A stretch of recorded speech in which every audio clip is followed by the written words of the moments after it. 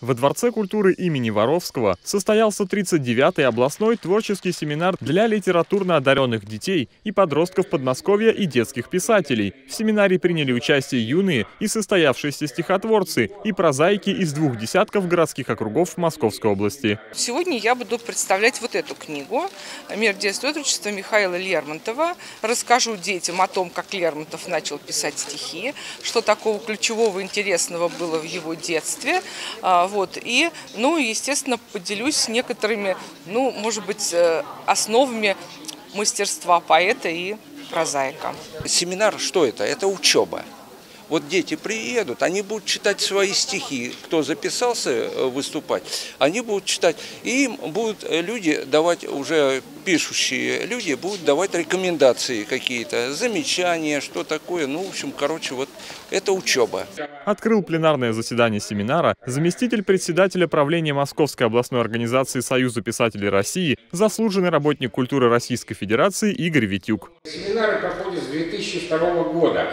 Э, вы представляете, те дети, которые были участниками первых семинаров, одаренные дети, уже некоторые окончили институты, работают в э, другие вузы с филологическими кафедрами и журналистскими, работают э, со словом и уже учат других.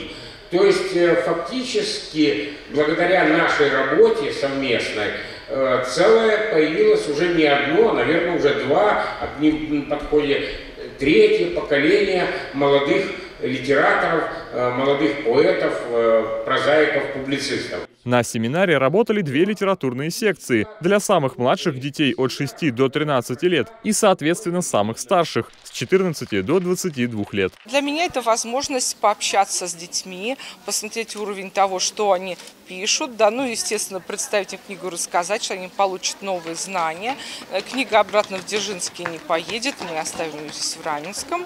Вот. Но вообще-то раменские ребята участвовали. Это такая книга довольно-таки особая, потому что ее проиллюстрировали дети, в том числе из Раменской гимназии номер два.